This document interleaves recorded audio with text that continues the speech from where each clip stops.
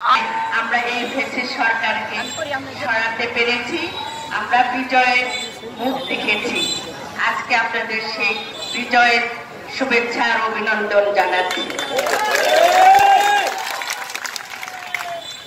সতেরো বছর। এই সতেরো বছর পরে আজকে আপনারা কি সুস্থ ভাবে এখানে দাঁড়িয়ে কথা বলতে পারছি আমরা নিঃশ্বাস নিতে পারছি। আমরা চিন্তা করছি যে আমরা গণতন্ত্রের স্বাদ একটু করে বাঁচি। এই সমস্ত এই সমস্ত কিছুর মূলে যাদের অবদান সেই আবু সাইদ, মুগ্ধ আমাদের হাজার হাজার সন্তানরা বলিদান হয়েছে তাদের কারণে কিন্তু আজকে আমরা এই বিজয়ের ভোগ করছি। এই স্বাধীনতার স্বাদ ভোগ করছি। একাত্তরের যুদ্ধের সময় যখন আমরা পরে করতে সময় যখন আমরা স্বাধীন হলাম, তখন বলা হতো, বলা হচ্ছে যে ইন্ডিয়া আমাদের স্বাধীন করে দিলে একটু অংশ নেওয়ার সবসময় চেষ্টা চলছে। কিন্তু এইবার কিন্তু কোনো পরাশক্তি বা কোনো পশ্চিমা দেশ কিন্তু আমাদের স্বাধীন করে দেয়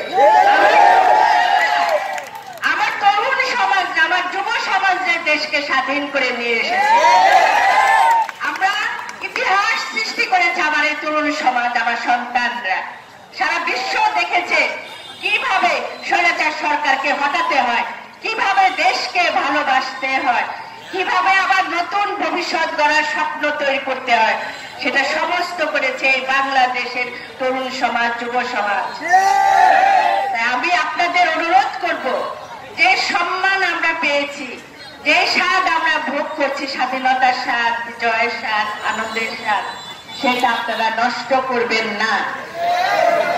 বিজয় অর্জন করা যতটা সহজ, তার থেকে বিজয়টাকে ধরে রাখা কিন্তু আরও কঠিন। এখানে সভাপতির সাথে একটা কথা বলেছে যে, এখন কিছু দুষ্ট চক্র এসে কিন্তু আমাদের সেই বিজয়টাকে নস্বাত করার চেষ্টা এই ব্যাপারে আপনাদের সতর্ক থাকতে হবে। এখন যদি কোথাও একটু ঘটনা ঘটে একটা যদি আপনি ইট পাটকেলও মারে কেউ সেটা কিন্তু বিএনপির গায়ে দেওয়া হচ্ছে বিএনপির ছেলেরা করছে বিএনপি প্রমুখরা করছে। এই ব্যাপারে আপনাদের সতর্ক থাকতে হবে। আমার দৃঢ় বিশ্বাস আমার সাথে যে সন্তানরা আছে তারা এখন কোনো খারাপ কাজে লিপ্ত নাই। একদম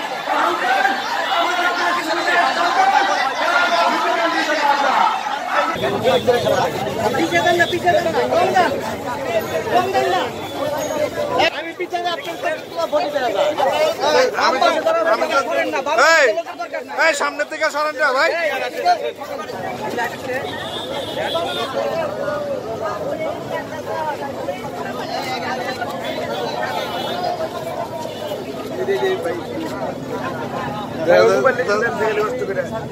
দেখি দেখি দেখি দেখি দেখি দেখি দেখি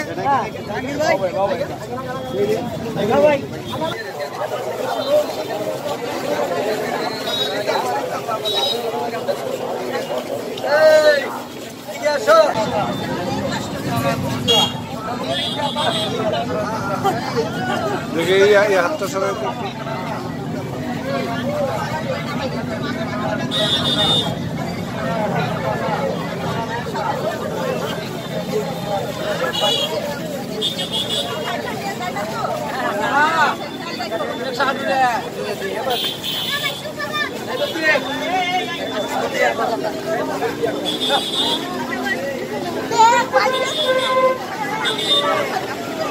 অন্যায় অত্যাচারের মধ্যে যায় না, যাবে না। আমাদের নেত্রী এ কারণেই কালকে গণমানুষের নেত্রী আজকে আমার আপনার সামনে উপস্থিত হয়েছে। কাজরিয়াবাসী দল, শ্রমিক দল কেউ কোনোদিন চাঁদাবাজি করবে না। কেউ অন্যায় অত্যাচারের মধ্যে আমরা যাব না।